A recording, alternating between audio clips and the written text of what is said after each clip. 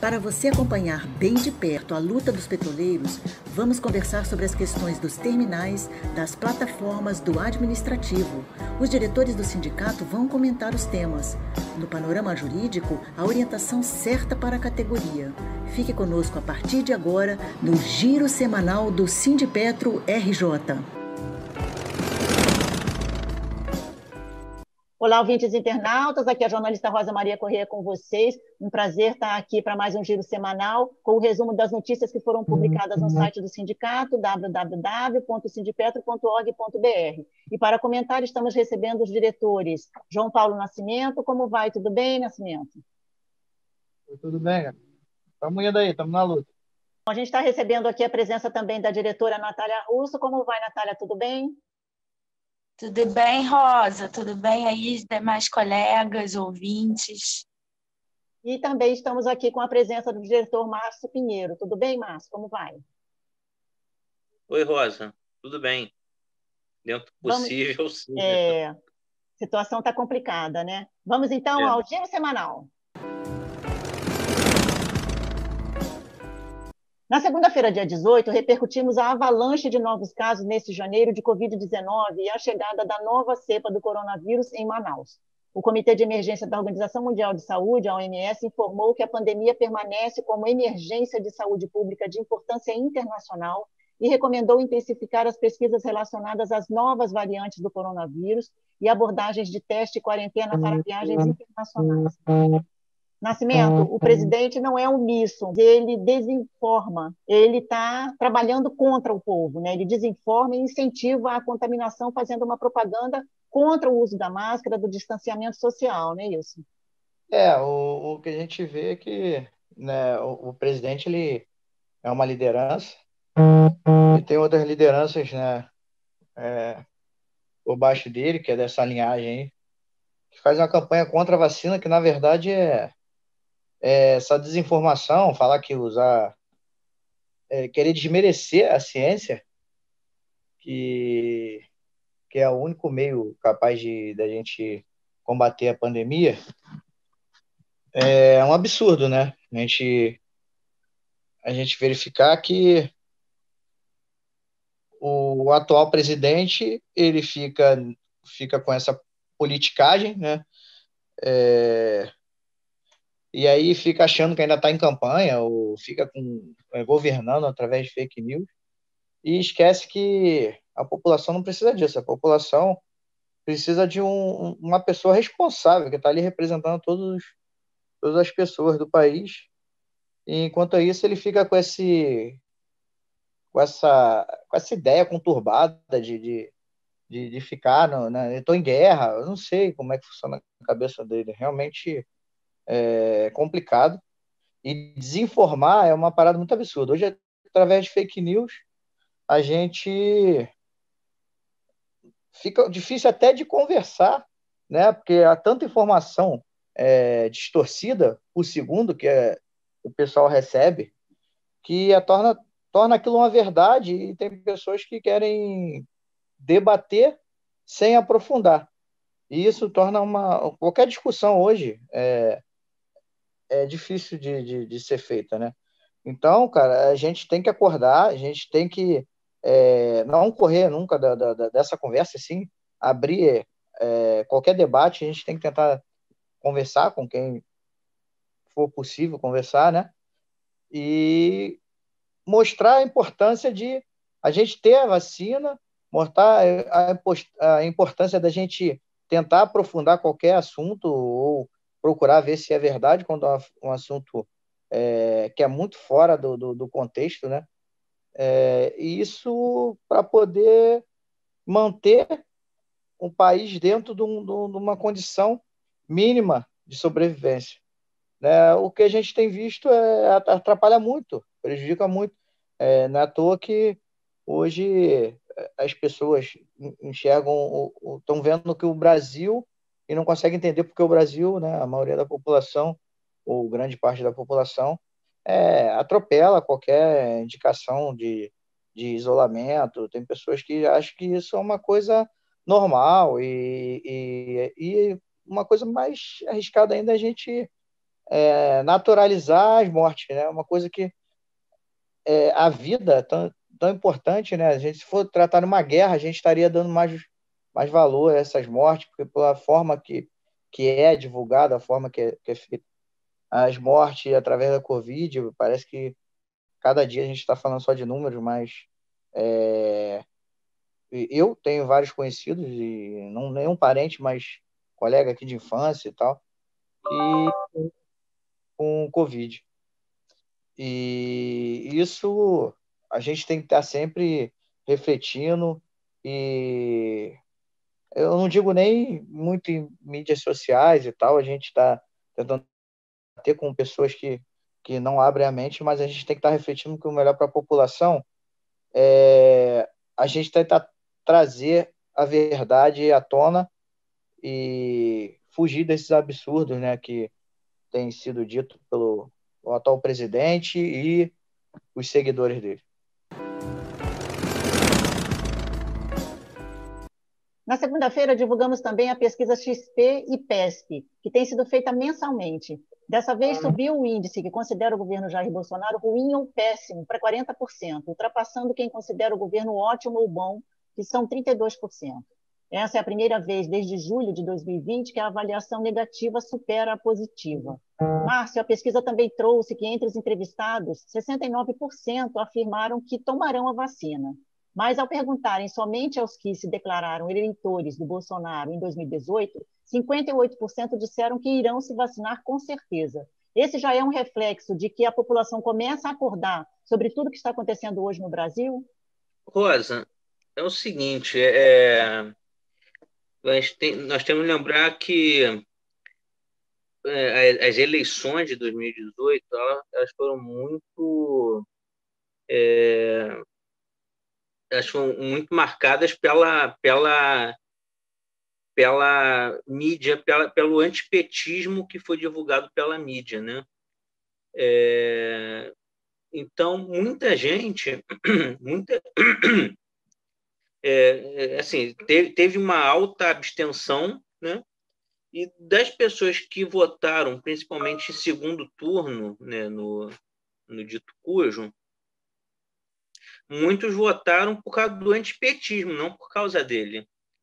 Então, quando, quando nós pegamos essa, essa, essa pesquisa, a, é, a quantidade de pessoas que, que votaram nele e tomariam vacina, esse, a grande maioria de 58% é, provavelmente são esses que é, votaram contra o PT e não a favor do, do Bolsonaro né? porque ele, ele ainda consegue guardar uma parcela da população que é que é cega, né? que é, é acredita no que ele fala. A gente vê também com isso que a, a, a mentalidade, a, a o quão frágil é a mentalidade das, que as pessoas podem ter, né? Que é para continuar acreditando nesse monte de mentira, em, em fake news, em, em, em é, teoria de, da conspiração e não, não querer enxergar a realidade. Isso é grave, né? E, então, é, é, é importante a gente entender quem são essas pessoas que, que votaram no cara e e vão, e vão tomar vacina. Se a gente pegar o, o gado, aquele gado rasteiro lá, aquele gado que se, se ele mandar se jogar da, da jogar no, é, do, do, precipício, eles se jogam, vai, é, é, a, talvez a maioria deles é, não, é, não tome vacina, que é esse pessoal que fica repercutindo nas redes sociais que vacina transforma em jacaré, que bota chip chinês no sangue, etc. Né? É, eu acho que é por aí. Na segunda-feira, o sindicato rebateu informações no site da Petrobras. É que talvez por medo da mobilização dos caminhoneiros que programam paralisação a partir do dia 1 de fevereiro, a hierarquia bolsonarista publicou uma, digamos, justificativa para sua prejudicial política de preços de combustíveis, com várias explicações, perguntas e respostas, né? Então, são seis perguntas que o sindicato respondeu também, mas com as informações verdadeiras. Nascimento, importante que todos conheçam essa matéria, que traz também vários links para consulta, para entender melhor o mal que essa política de preços que está sendo implantada e utilizada pela Petrobras faz, não somente a categoria dos caminhoneiros, caminhoneiros, mas a toda a população brasileira. Né? Sobre isso, é muito importante a gente falar e refletir o mal, o mal que tem sido feito com a maioria da população que está hoje na, na miséria, né? Que são essas pessoas que usam o GLP. Não é nem gás encanado, não. São as pessoas que estão dentro da comunidade. O GLP tem sofrido aumentos em sequência, semanais, não digo nem mensais. O GLP hoje, o gás de cozinha para a população está caríssimo. Uma política de preço desnecessária. Se a gente tem uma estatal, muito bem poderia estar sendo entregue ao distribuidor no preço de custo, porque não faria cosquinha hoje na, na, na, na Petrobras. É, assim como os outros combustíveis, né? O diesel, que na verdade é diretamente no, nos preços dos alimentos, no custo de vida. Aí o que o governo está fazendo? O governo, o governo está dando o auxílio emergencial num, num ponto e pegando tudo de volta dessa maioria da população que hoje está sofrendo com isso, né? Porque você vê o preço dos, dos alimentos, né? o custo de vida em si, o preço do gás de cozinha. não vou colocar muito é, a gasolina e tal, mas a gente coloca o diesel, porque tem os caminhoneiros, né? Porque tem a cadeia de consumo, mas a população está sofrendo muito. Hoje, é, se você. Eu, eu verifiquei alguns, alguns postos de, de, de gás de cozinha, entrega de gás de cozinha, eles colocam lá a Petrobras com os aumentos e coloca o X né, no, no BR.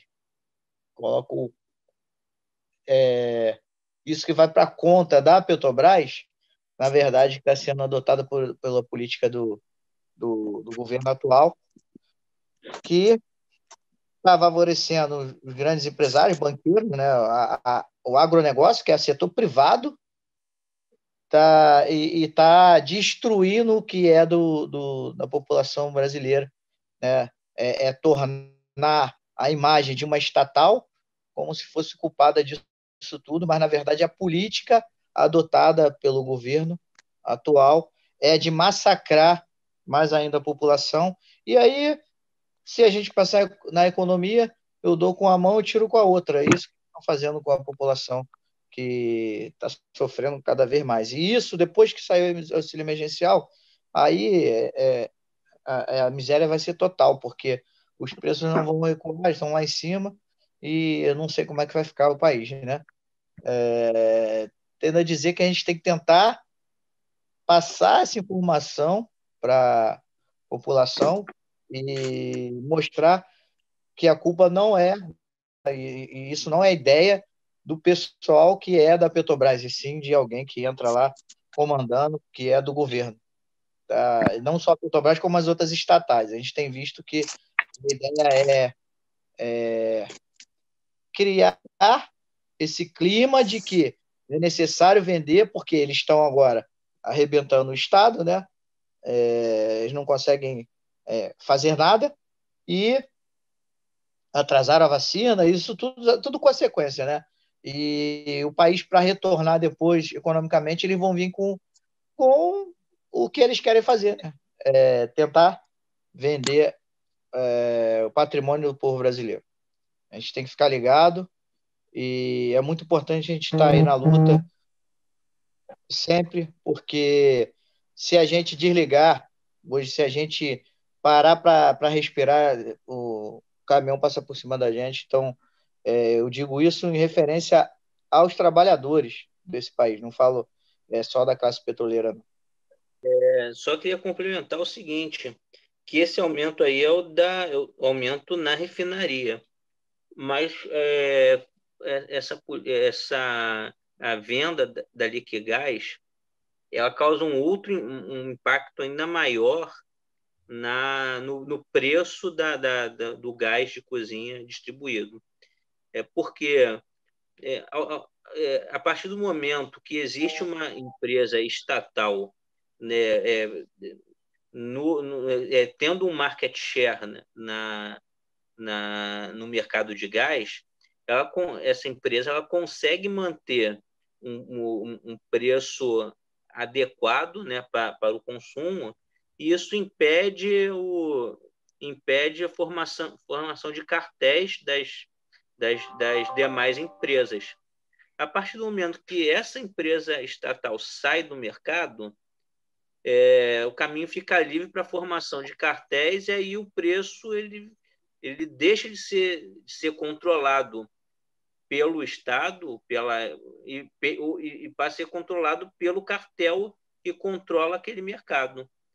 Então, a perda, a venda da Liquigás vai, já está causando também esse, esse aumento no custo por interesses, interesses é, privados das demais distribuidoras. Na terça-feira, okay. dia 19, publicamos que a Petrobras anunciou que receberá no dia 1 de fevereiro as propostas das empresas pré-qualificadas para a licitação da construção das plataformas P78 e P79, que vão operar no campo de Búzios. No comunicado, a empresa diz que o processo decisório de contratação de bens e serviços da Petrobras considera três critérios: qualidade, competitividade e prazo de fornecimento. O Sindicato da Indústria Naval rebateu, defendendo que os estaleiros brasileiros têm condições de atender os pedidos da Petrobras. E o Sindipetra RJ criticou a falta de política de conteúdo local que proteja os empregos para os brasileiros. Márcio, você, né, como engenheiro aí desse campo, né, desse setor, inclusive nos deu depoimentos para basear essa matéria. Qual a sua avaliação sobre essa decisão da Petrobras? Ela é ruim para o Brasil, né? É, quê? Porque é, a, a, a, questão da economia. A economia já está patinando, né? já está tá, tá no buraco. Então, quando se é, gira, quando, é, existe investimento na economia local, ela começa a dar, dar, dar, ela tem um efeito multiplicativo, né? Isso aí vem do keynesianismo. Né? É, um efeito multiplicativo. Então, a, a, cada dólar, né, a cada real investido, existe um retorno na economia é, maior que um. Né? Então, é, o investimento ajuda a, a mover a economia nacional, que ajuda a sair da lama. Né? Só que a partir do momento que vai para um, um, outro país, é, você está movimentando a economia do outro, não o nosso. Só que tem a questão, é, tem uma falha aí né, nessa, nessa estratégia de, de enviar para o, é, o estrangeiro essa, essa construção. Porque é, vamos pegar as últimas plataformas é, teve a, a, que foram feitas na China, né? 67 e 70, que elas vieram um processo, eles vieram em cima de um outro navio, um processo chamado dry tow, que é, é bem rápido, na faixa de 50, 50 dias, mais ou menos, consegue trazer a plataforma do, da China para o Brasil. É bem rápido. Só que só existe um navio no mundo que era capaz de trazer essas plataformas, e mesmo assim ele teve que ser jumborizado para poder trazer. Ou seja, é, é, esse navio ele foi, ele teve que ah, mexer na, na estrutura dele para o navio caber e poder trazer para cá. Só que essas plataformas novas, 78 e 79, elas têm uma capacidade é, de processamento maior do que essas anteriores. Né? Então, é, eu não sei, hoje eu não, eu não tenho, eu não sei qual a informação da, do, do, do tamanho, das dimensões dessas novas plataformas, mas ela, como elas têm maior capacidade de processamento, é, tende a, a, ter um tamanho maior também, né? E, e não existe navio maior para trazer essas plataformas. Então, não dá para considerar é, é, não dá para considerar essas plataformas sendo trazidas pelo processo de dry tow, que é o mais rápido. Ela vai teria que ser rebocada. E assim, é uma plataforma, são uma plataforma que são quadradão, ela não tem formato de navio. Ela tem formato de, de, de, de caixote, né? Então, é, esse formato faz com que o reboque seja muito mais lento. Então, em vez de é, ser, é, ser, um transporte de dois meses, a plataforma levar dois meses para ser trazida, botam o dobro por baixo. Né? Você pode considerar o dobro, quatro meses de transporte. E aí, esses dois meses de diferença é, de atraso, né, por causa do transporte, vai ser recuperado sendo mais rápido, é, fazer a integração lá fora do que aqui. O gran... Por quê? É, o grande ganho que existe fazendo, fazendo construção em, em estaleiros mais, mais modernos no, no exterior é a velocidade de construção do casco. Mas a, a parte de integração demanda, ela demanda muito menos de capacidade de movimentação de carga do que, do que a construção do casco em si. É basicamente é logística de, de, de trabalho braçal a bordo mesmo. Então, não tem muito ganho, é, dependendo do lugar que vai ser feito, porque é, é, é, é trabalho braçal, é gente trabalhando só é, é a bordo no espaço limitado. Então, não adianta botar mais ou menos pessoas. É, entendeu? Então, não tem, por aí não tem muito ganho é, de tempo. Por isso, é, esses dois meses de, é, de perda no transporte pode impactar num, numa perda, num atraso da, da, da, da operação da unidade, né? da entrada em operação. Com isso, é, a não ser que consigam fazer uma, uma plataforma que caiba dentro dos, do navio existente, e mesmo assim ainda depende de janela de contratação, que pode, tem concorrentes que também usam. Então, é, pode jogar, pode colocar água, é, por água abaixo essa estratégia da Petrobras de fazer lá fora. Seria, é, é, é, é seria mais viável eu estou falando isso do, do, ponto de vista de construção da, da, da companhia de ganhar prazo. Não estou falando é, de questão de, de emprego, não. Falando de ganhar prazo mesmo. Sim. A ideia da, da empresa. Sim. É, é, é mais jogo fazer a integração aqui no Brasil, que já está pertinho do campo, né? Então não tem essa perda de tempo do transporte. É, é, o, o, tanto a, o casco quanto, quanto, os módulos podem ser antecipados e trazidos para cá, para o Brasil, antes. Então, é, não perde esse tempo do, do transporte da plataforma. A gente ganha tempo com isso. Então, é, assim, não é. Nada muito... justifica, né, Márcio? Nem com relação a essa questão do prazo. Fora, né? entendeu? Até poder justificar fazer o casco, assim, que ganha tempo. Mas o restante não faz sentido. Sim. Pelo menos do ponto de vista de tempo. Tá certo. Bom, na quinta-feira, divulgamos que o Sindipetra RJ e os outros sindicatos filiados à Federação Nacional dos Petroleiros, a FNP, têm recebido inúmeras reclamações de aposentados, pensionistas e pessoal da ativa de todo o país sobre os descontos de valores relativos à assistência multidisciplinar de saúde AMS, que estão sendo considerados indevidos pela categoria, apesar das mudanças que ocorreram neste 2021.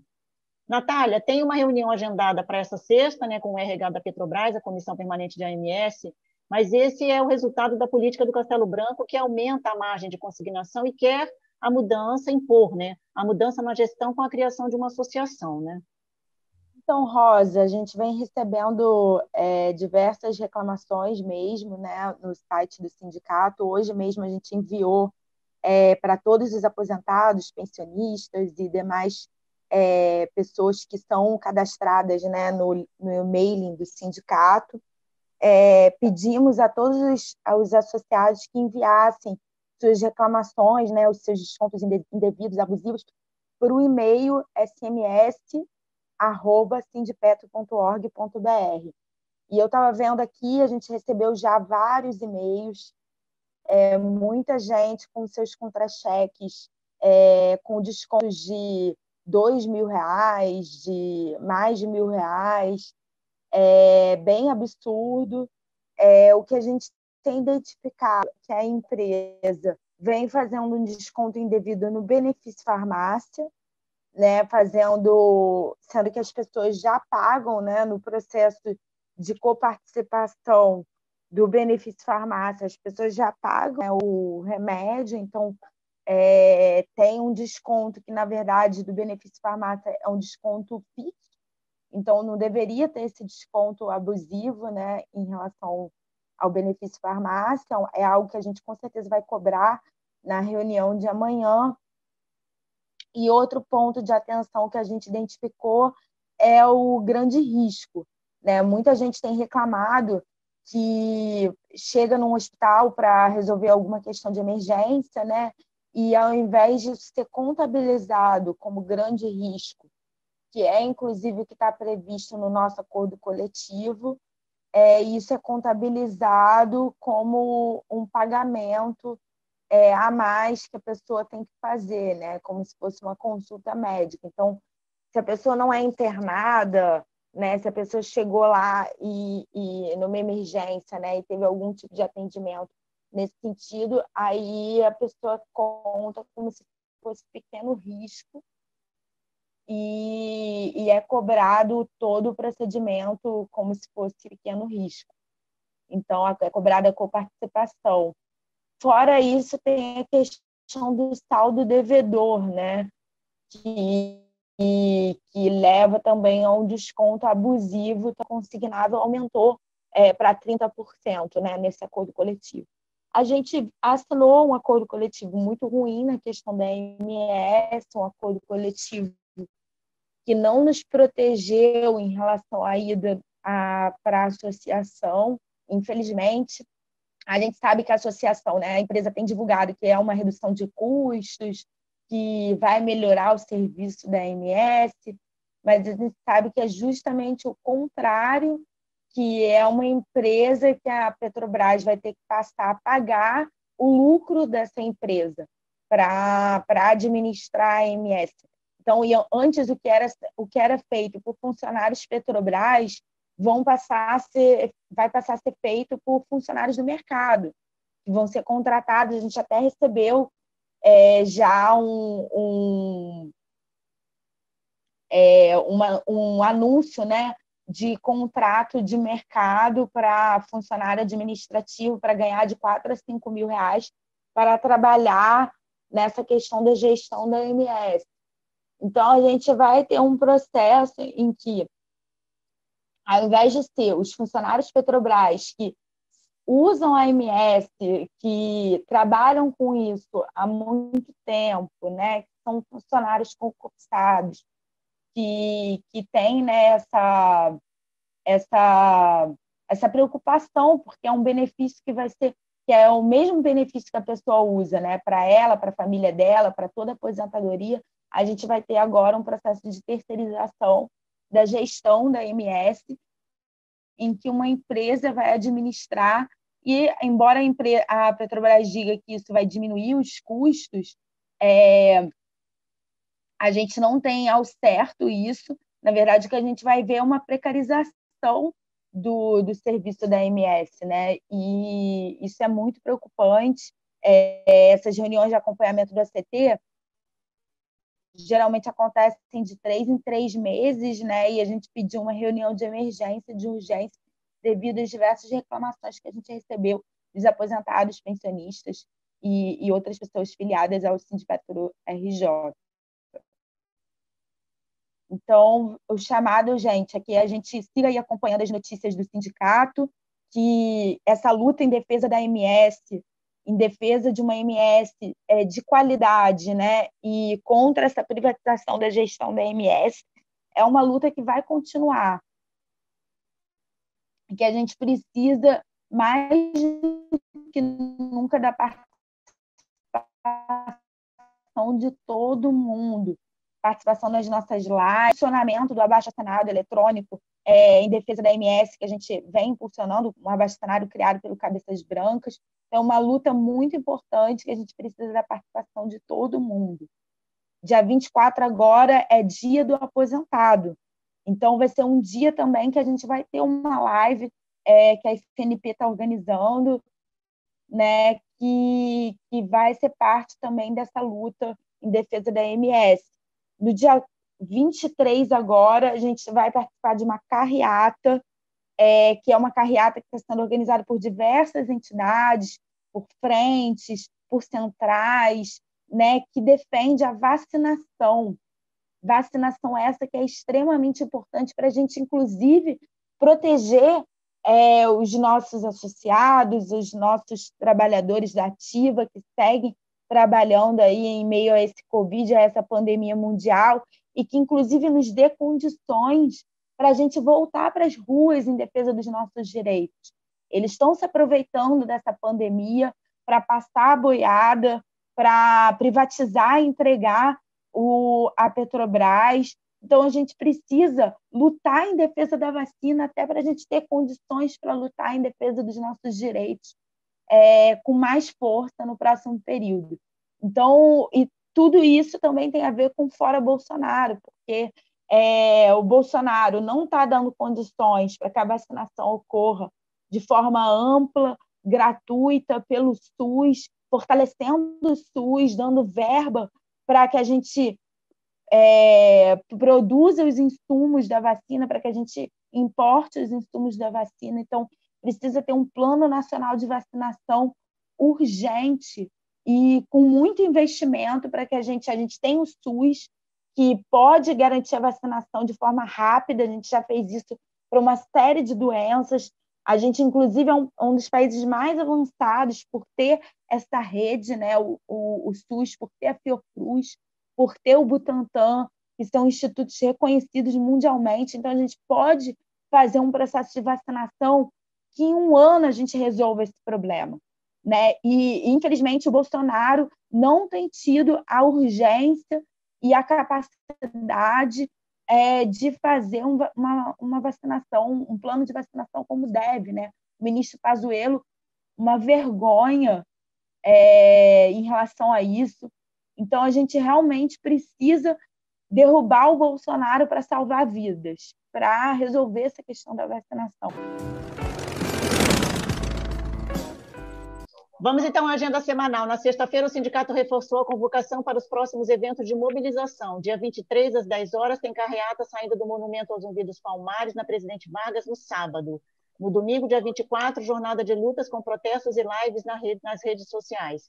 E dia 1 de fevereiro, muito importante, Dia Nacional de Lutas contra a falta de governo para o combate ao coronavírus, contra as privatizações, contra a reforma administrativa e em defesa do serviço público. E tem também a paralisação dos caminhoneiros marcada para esse dia. Natália? Junto com a greve dos caminhoneiros que está sendo chamada, também vai ter uma carreata no Brasil inteiro então, é fortalecer essas lutas, essas mobilizações, para a gente ter condições é, de salvar vidas é, e não ver notícias horrorosas como a gente tem visto é, da, da falta de oxigênio em Manaus, que pode se alastrar agora com a falta de oxigênio no Pará, pode ter que parar esse genocídio que está acontecendo país. Queria, então, já pedir para os nossos diretores já se despedirem dos ouvintes. Rosa, então, estou concluindo aqui, dar, mandar um abraço para todo tá. mundo, obrigada aí aos ouvintes, é, as pessoas que participam do nosso programa. É, vamos fortalecer aí a nossa luta nesse ano de 2021, que a gente tenha muita força, muita capacidade de, de se solidarizar com o outro e de construir laços e pontes para que a gente possa mudar a realidade que está aí no nosso país. Nascimento, por favor, quer deixar sua consideração final? Sim, sim. É... Então, a gente a gente tem que manter, né, através dos trabalhadores, a gente tem que manter a esperança que a Covid, ela, infelizmente, ela esfria um pouco né, essa questão de mobilização.